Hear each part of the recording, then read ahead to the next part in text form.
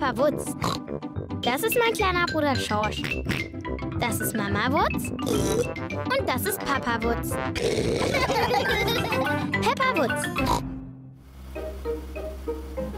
Chloes Puppentheater.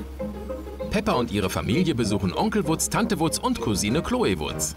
Onkel Wutz schläft nach dem Essen bestimmt wieder ein. So wie immer. Papa Wutz, das solltest du über deinen eigenen Bruder nicht sagen. Schon gar nicht vor den Kindern. Aber stimmt doch. Onkel Wutz isst immer zu viel und schläft danach ein. Danach schnarcht er laut, etwa so. Aha, äh, Peppa, äh, Schorsch, vergesst, was ich gerade über Onkel Wutz gesagt habe. Ist gut, Papa.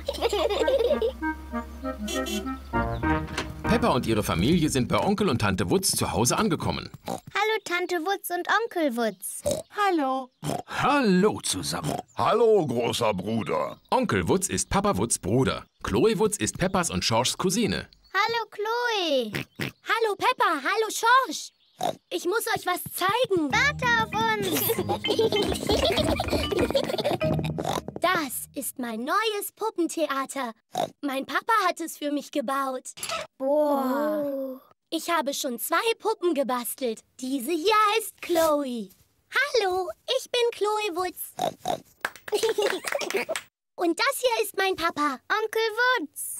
Hallo, Peppa. Ich bin Onkel Wutz. Chloe, können ich und Schorsch auch eine Puppe basteln? Ja. Chloe malt der Puppe ein paar Augen. Darf ich den Mund malen? Ja, klar.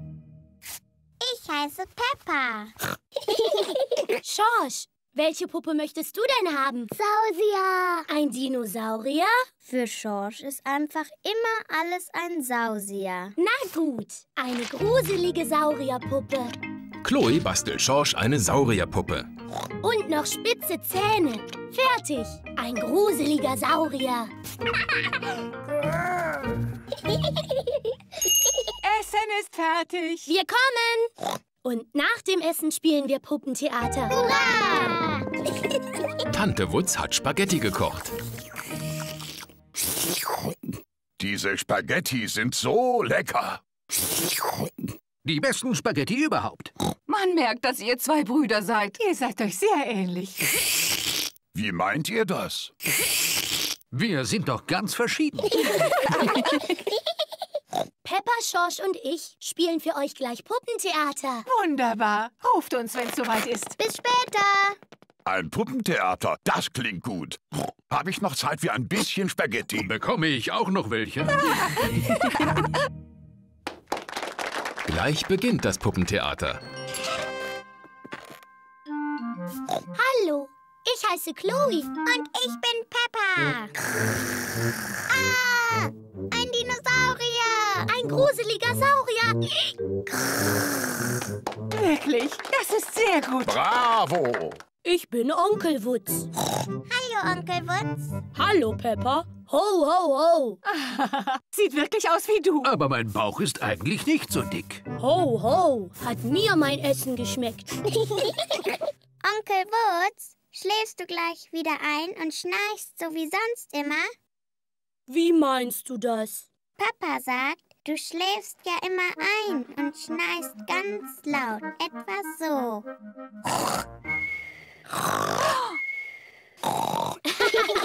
Ho, ho, dein Papa hat recht. Ich schnarche wirklich immer so. Papa Wutz, du hättest das über Onkel Wutz nicht sagen dürfen. Ich glaube, Papa Wutz und Onkel Wutz können uns nicht hören. Papa Wutz und Onkel Wutz sind eingeschlafen. Man merkt, dass sie Brüder sind. Ist was passiert? Hä? Hat das Puppentheater schon angefangen?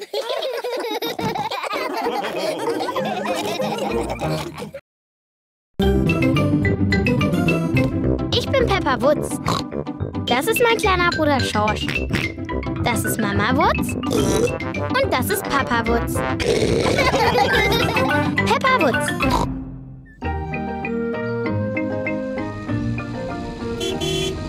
Gartenarbeit. Pepper und Shaw spielen heute bei Oma und Opa Wutz.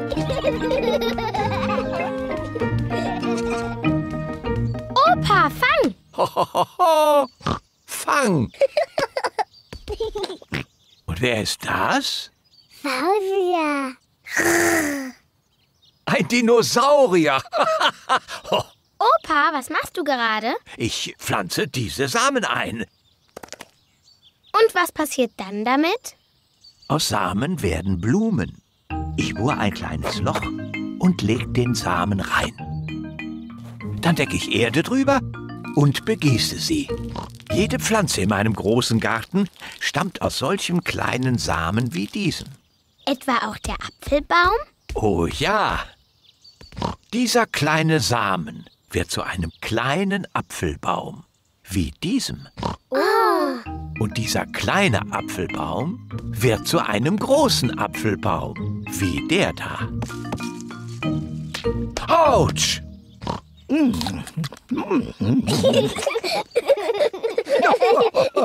Und im Apfel sind noch mehr Samen drin. Für noch mehr Apfelbäume. Ganz genau. Opa, Opa, ich will auch was pflanzen. Wie wäre es denn mit einem Erdbeersamen? Ja, fein. Aus diesem Samenkorn wird eines Tages eine schöne Erdbeerpflanze. Zuerst gräbst du ein Loch. Dann leg ich den Samen rein und deck Erde drauf. Soll ich ihn für dich gießen? Nein, nein. Ich will es machen. Gut. Und nun brauchen wir etwas Geduld.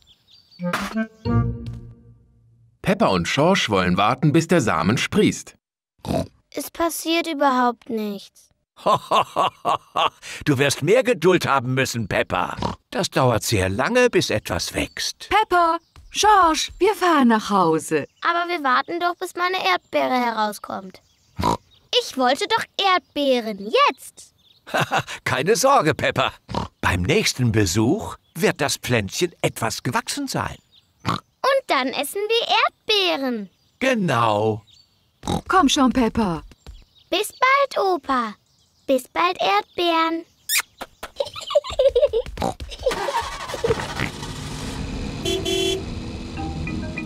Opa Wutz sorgt für Peppas Erdbeerpflanze. Nach einiger Zeit entdeckt Opa Wutz die ersten Blättchen.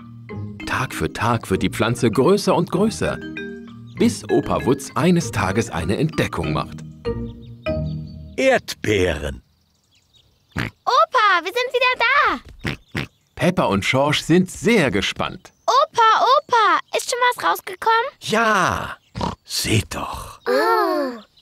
Erdbeeren. Danke, Opa.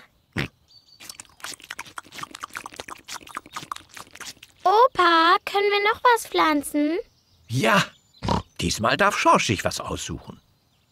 Ja, du suchst aus. Sag Karotten. Opa, ich glaube, Schorsch möchte Karotten. Schorsch, würdest du gern Karotten pflanzen? Nein. Was möchtest du denn sonst? Schorsch hat sich überlegt, was er anpflanzen will. Fausia. Schorsch will einen Dinosaurierbaum anpflanzen. Dummer Schorsch. Saurier wachsen doch nicht an Bäumen.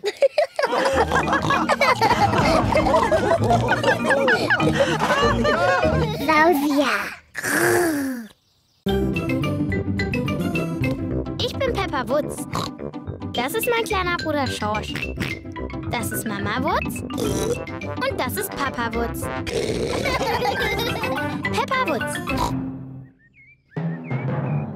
Gewitter.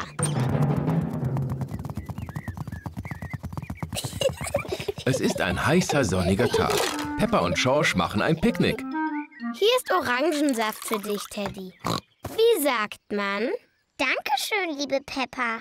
Oh, gern geschehen, lieber Teddy. So, und hier ist auch Orangensaft für dich, Sausia. Du musst jetzt Danke sagen. Oh, es war mir ein Vergnügen, Sausia.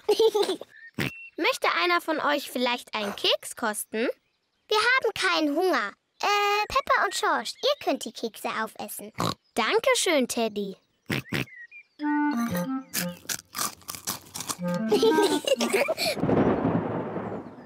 Was war das für ein Geräusch?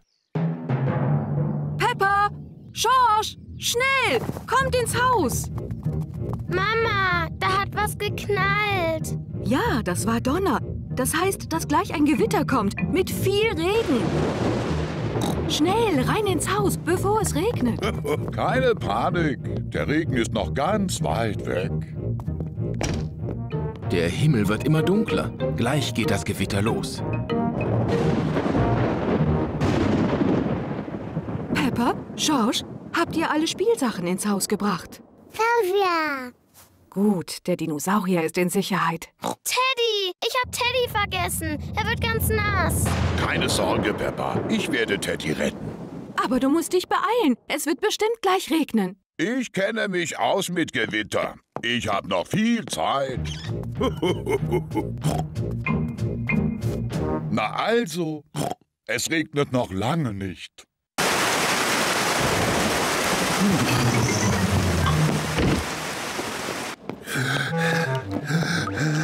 Armer Teddy, er ist ganz nass. Guck, Ja, armer Teddy. Wir trocknen ihn ab. armer Teddy. Und schon ist dein Teddy wieder trocken. Ha, tschi. Hey, und was ist mit mir? Ich bin auch ganz nass. Oh, armer Papa. Schnell abtrocknen. Und schon bist du wieder warm und trocken.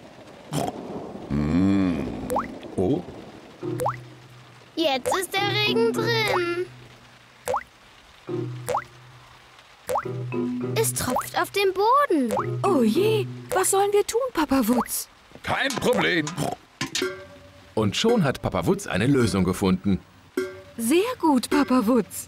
Baby-Eier leicht. Ey, was? Schnell, es muss unbedingt noch ein Behälter her. Sehr gut, Peppa.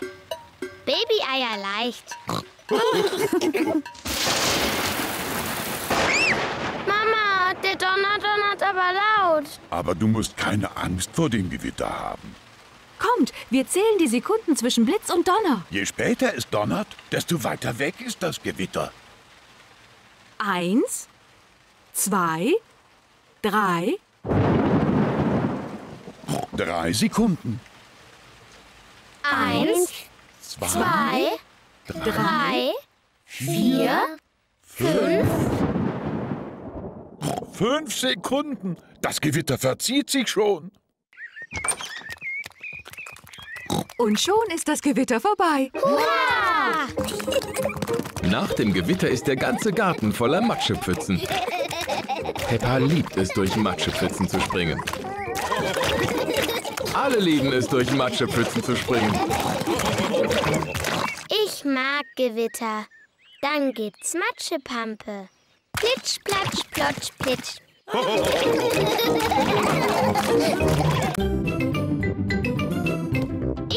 Peppa Wutz. Das ist mein kleiner Bruder Schorsch. Das ist Mama Wutz. Und das ist Papa Wutz. Peppa Wutz. Meine Cousine.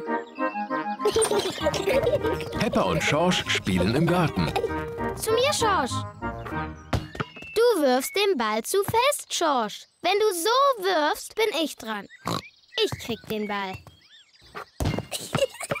Gewonnen! Peppa, Schorsch, heute kommt uns eure Cousine Chloe besuchen. Yippie! Cousine Chloe! Schorsch, Chloe ist groß, so wie ich. Also sei nicht traurig, wenn sie sagt, dass du zu klein zum Spielen bist. Hoho, ich bin sicher, dass Chloe mit euch beiden spielt. Chloe ist da! Tante Wutz bringt Chloe vorbei. Chloe ist die Cousine von Peppa und Schorsch. Sie ist ein bisschen älter als die beiden. Hallo, Chloe. Hallo Peppa, hallo Schorsch. Dann bis später. Wollen wir jetzt was spielen? Ja, wir spielen Fang. Peppa spielt gerne Fangen. Spielt ihr noch Fangen? Das ist doch ein Spiel für Babys. Ähm, wir spielen es noch, weil Schorsch es so gerne mag. Okay, spielen wir es für Schorsch. Spielst du nach echten Regeln oder nach Babyregeln? Echten Regeln.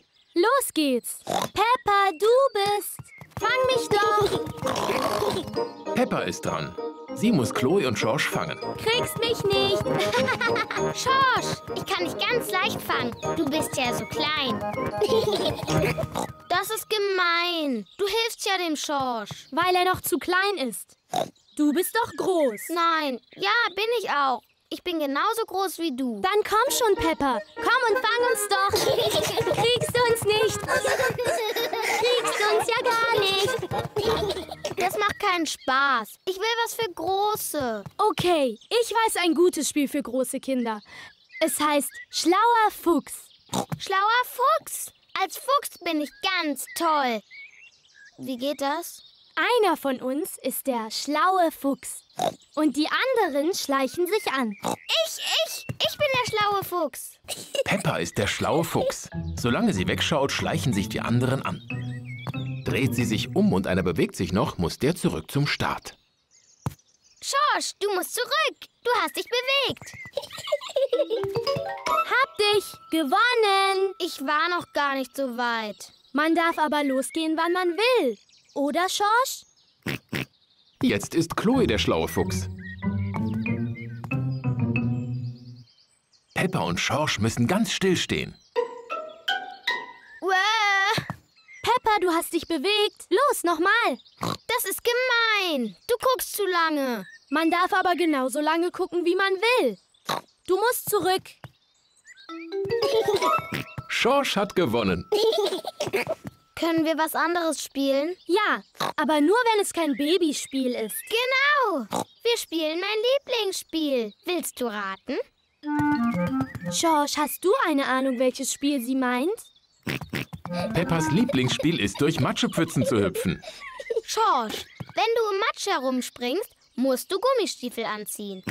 Ich habe auch ein paar Gummistiefel für dich, Chloe. Ich bin schon zu groß, um im Matsch rumzuhüpfen. Oh, genau wie ich. Schorsch liebt Matschepfützen.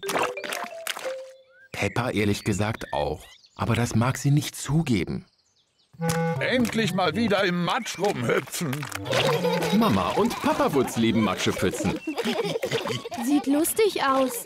Ja, und wie? Das ist vielleicht ein Spiel, bei dem große Mädchen dringend mitmachen sollten. Ja, das glaube ich auch. Ich komme. Ich komme. Peppa und Chloe lieben Matschepfützen. Alle lieben Matschepfützen. Auch große Mädchen. Ich bin Peppa Wutz. Das ist mein kleiner Bruder Schorsch. Das ist Mama Wutz. Und das ist Papa Wutz. Peppa Wutz.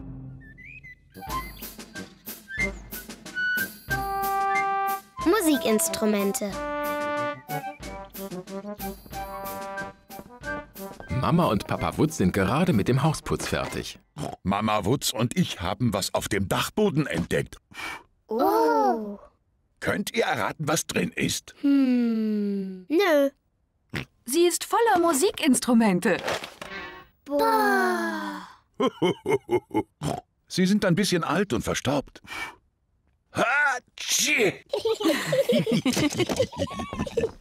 Auf der Geige habe ich gespielt, als ich noch klein war. Mama, kannst du uns was vorspielen? Ich habe schon lange nicht mehr gespielt. Ach bitte, Mama. Spiel doch mal. Hoffentlich kann ich es noch.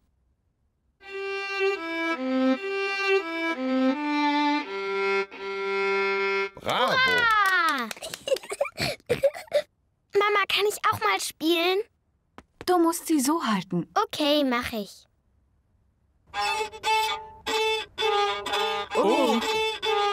Oh je, Peppas Geigenspiel klingt lausig. Schorsch will es auch mal versuchen. Du musst sie so halten, Schorsch. Oh, das klingt auch nicht viel besser. Geige spielen ist viel zu schwer. Peppa, vielleicht klingt es auf dieser Trommel besser. Danke, Papa. Das klingt viel besser. Peppa spielt großartig. Wie schön. Ja, hört sich gut an. Da ist ja Papas altes Akkordeon. Das habe ich gespielt, als ich Mama kennengelernt habe. Oh, Papa Wutz. Ich kann mich gut erinnern.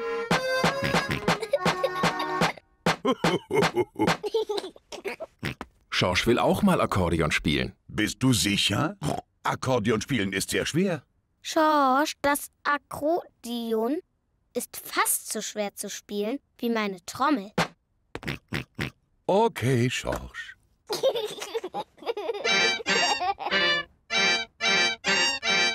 Oh, Das Akkordeon ist wirklich sehr schwer zu spielen. Papa, welche anderen Instrumente sind da noch drin? Dieses Horn. Darf ich mal? Du musst feste pusten. Das klingt nicht so gut. Das geht gar nicht. Ich glaube, ich konnte mal drauf spielen. Na, das klingt auch nicht besser. Ho, ho, ho. Dafür muss man wohl schon so stark und groß sein wie ich.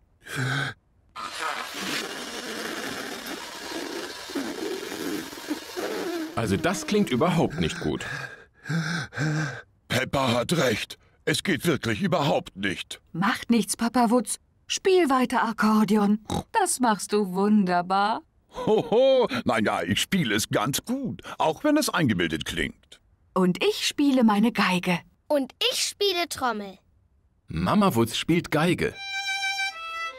Papa Wutz spielt Akkordeon. Peppa trommelt. Und Schorsch, was soll er spielen?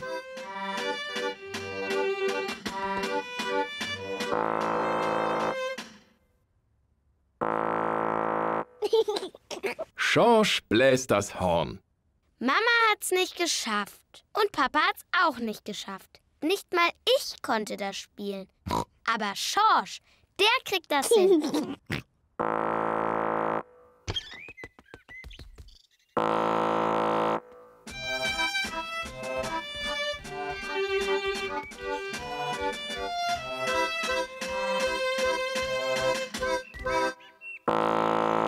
Ich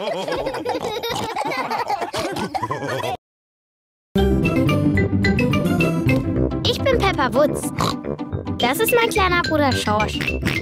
Das ist Mama Wutz. Und das ist Papa Wutz. Peppa Wutz.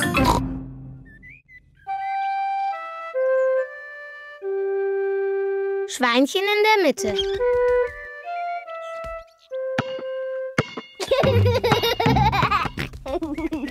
Schorsch spielt im Garten Ball.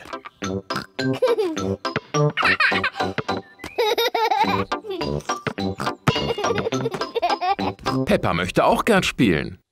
Schorsch, du machst das ganz falsch. Guck, so wirft man einen Ball.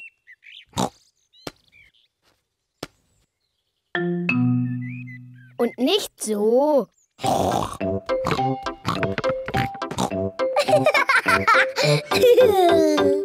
So machst du das. Peppa kann ein ganz schön freches Schweinchen sein. Schorsch, komm zurück, du Babyschweinchen.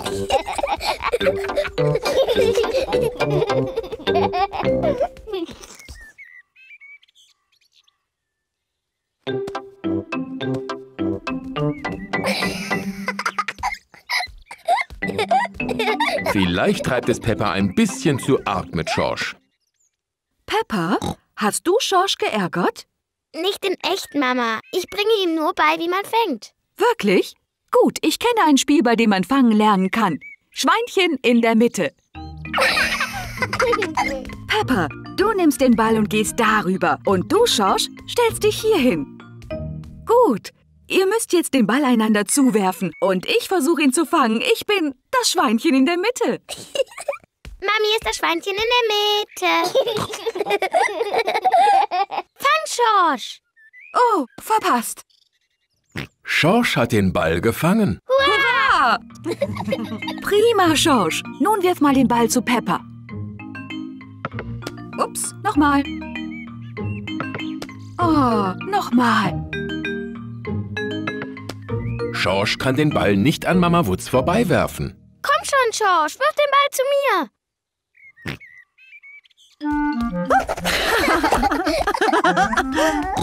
Dummer Schorsch. Das kann ich doch auch. Peppa möchte das auch mal ausprobieren, aber sie ist zu groß und bleibt stecken. Ich hab den Ball. Peppa ist nun das Schweinchen in der Mitte. Schorsch, fang! Hurra! Hab ihn! Schorsch, du bist das Schweinchen. Schorsch, fang! Fang den Ball, Schorsch. Fang, Schorsch! Schorsch, fang! Hier ist der Ball, Schorsch.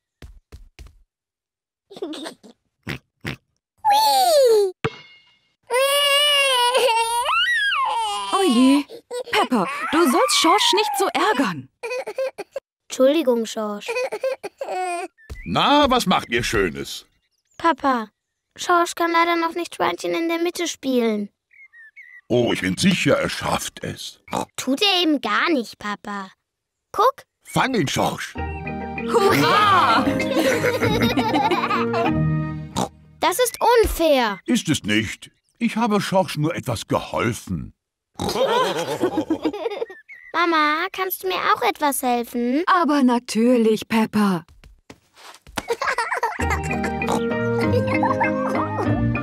Wirf her, Schorsch. Fang doch, Schorsch. Peppa spielt gerne Ball. Schorsch spielt auch gerne Ball. Alle spielen gerne Ball. ハハハハ!